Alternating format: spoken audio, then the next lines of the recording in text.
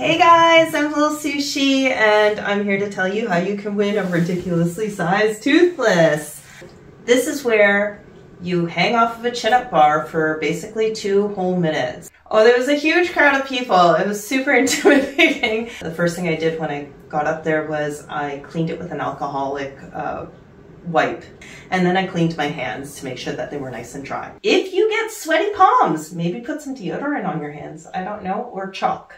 First things first about this bar, it is on ball bearings, so it's not just a static chin-up bar, it does roll. So for grip wise, I found that, um, again, removing all your jewelry really helps because you've got more contact on the bar, but also I tucked my thumb over my fingers before they take away the stool and the steps. Make sure that your wrist is nice and relaxed and it's not curled like this because then you drop because of the ball bearings.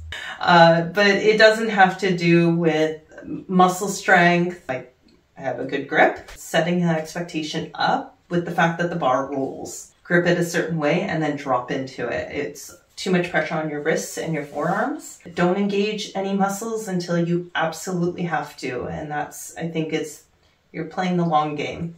Hang on!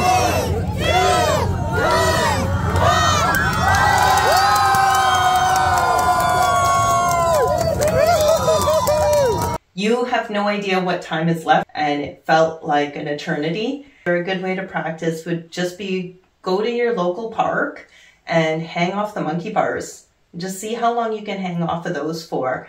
And I didn't think I could do it, but I did.